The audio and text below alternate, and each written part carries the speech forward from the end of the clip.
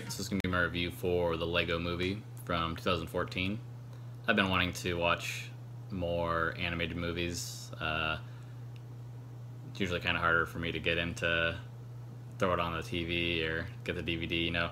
I just, I don't know, I, I like animated movies. I like them when they're well made and can be watched by uh, adults and kids, but it's just kind of one of those things that I pass pass by usually just to watch a, a live action movie but I've been trying to make it a goal, or want to make it a goal to watch more animated movies that are on my list to see. I still haven't seen like a lot of the Pixar movies and stuff, but I heard this was really good. I heard the Lego movie's really good and really funny, so I just watched it the other day. And it's um, directed and it was written by the Phil Lord and Christopher Miller. And they didn't do a ton before this, but they had done a TV show called Clone High um, in like 2002, 2003, which I remembered. I think it played on maybe MTV. It was either MTV or Adult Swim, Comedy Center, or uh, Cartoon Network. But, anyways, uh, that show was pretty funny. And then they did uh, Cloudy with a Chance of Meatballs, so that's kind of in the animated field. And then they did 21 Jump Street in 2012, which was really kind of put them on the map, kind of made their name known. And then they did this after 21 Jump Street. So, uh, story is pretty, pretty, I don't know, interesting, original, but uh, it follows uh, Chris Pine voices the main, or not Chris Pine, Chris Pratt. So yeah, our main um, main protagonist is Emmett, and he's voiced by Chris Pratt, and he's kind of going going about his day. He's just a regular Lego builder always follows the instructions, which I liked. I thought that was pretty funny how they always show him using his instructions, looks like you would on a, a Lego set, and he's just doing doing what he does, um, but he doesn't know that um, kind of the world that he lives in is being run by Lord Business, who's kind of an evil character and is trying to make everything conform to certain ways. And then there's a group of people that want to set things right and uh, one of the main people trying to you know break this mold is Wyldstyle or Lucy, as uh, voiced by Elizabeth Banks, and so she comes into uh, Emmett's Emmett's world, and she's looking for this special piece, uh, and she's trying to look for it, and he kind of falls down a cliff and runs into her, and this special piece that they need ends up being attached to him, and so then he becomes you know the special, and he has a special mission.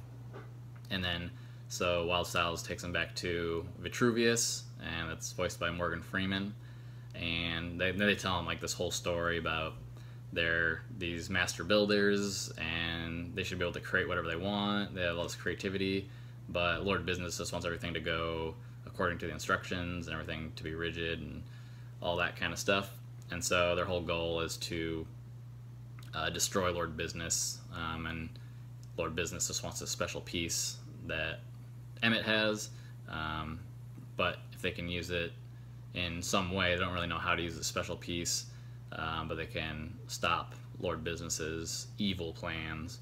So that's that's kind of the plot, and then they just on the way to this kind of adventure, they meet a bunch of different characters, uh, different characters from Lego sets, basically. Uh, Batman's in there. He's voiced by Will Arnett. He's super funny.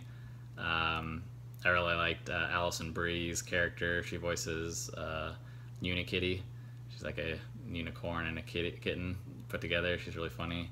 Uh, Charlie Day is a character named Benny. He's like an old 80s um, astronaut, so he always, he always wants to build a spaceship. And um, those are kind of our main guys that are going to be helping out uh, Emmett to stop Lord Commander or Lord Business. Did I say that he was voiced by uh, Will Ferrell? Uh, Lord Business is voiced by Will Ferrell, if I didn't say that. So, um, yeah, that's the basic plot. It's really funny. Uh, I think the Batman scenes are super funny, but just in general, it's a really good comedy. Really good for, um, I can see it's being great for kids. It's also really funny for adults. I mean, I had a good time watching it. I thought it was really smart. It's super creative in the way that it's made. So it's all done with CG. It's all computer animated, but they made it really look like a stop motion film where everything is made from Lego pieces, and you know the attention to detail of that is really impressive. So that's all really cool.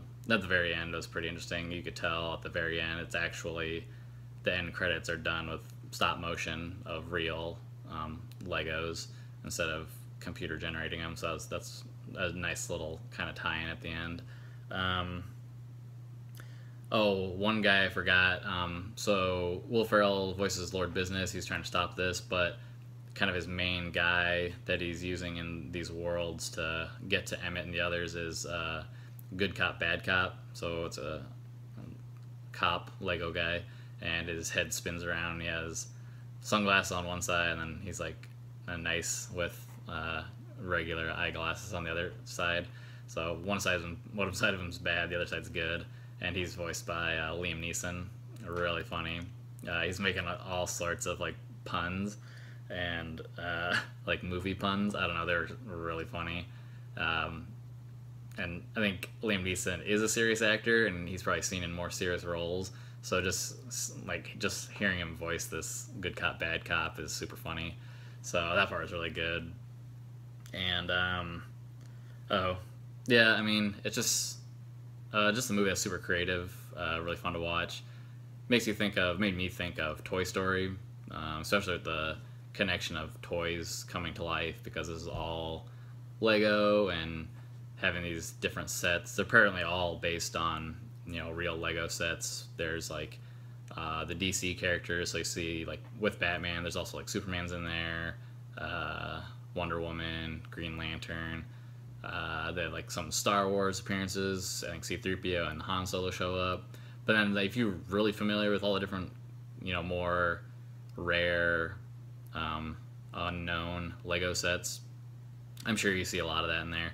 You know, I, I didn't grow up building a ton of Lego, a little bit, but you know, I don't know any of the sets by name. So just the way they go about doing that's really cool. Oh, and then one other guy I forgot actually was um, Nick Offerman does a voice too. He voices uh, Metalbeard. He's like a, a pirate. So that, that, I remember that being a popular Lego set, the pirates and the knights and stuff like that, medieval. So he's uh, another good character. But um, so yeah, the creativity is really good. Made me think of Toy Story a little bit and then also the the Matrix kind of is a might seem like a random movie reference, but if you've seen both the movies, you can probably see how they're connected, especially with like this kind of quote unquote prophecy of Emmett being the special, like Neo being the one, and then there's kind of I don't know, this movie's a couple years old now, kind of maybe spoilers. There's at the end they kind of do some things that are not strictly within the Lego set world. I'll just say that, which is really really interesting. I liked it. I don't think it was the biggest surprise. It wasn't like a huge twist. I wasn't blown out of my pants to by surprise when they did it. Made the switch at the end, but it was good. I liked it. I liked the way um, they played it out, so it was pretty cool. Um, so yeah, uh, I don't think I have too much more to say, but I'm definitely going to be checking out more more animated films. Try to get some of those under my belt and this is a good one to start with. Oh, I really want to check out the Batman Lego movie. Uh, Will Mar- Will Arnett does uh, the voice again for Batman in that. It's supposed to be really funny. So that'll hopefully be one that I watch soon. But for this one, really liked it. I think I think kids and adults will like it um, equally. So uh, highly recommend it. Give it a four out of five. Okay.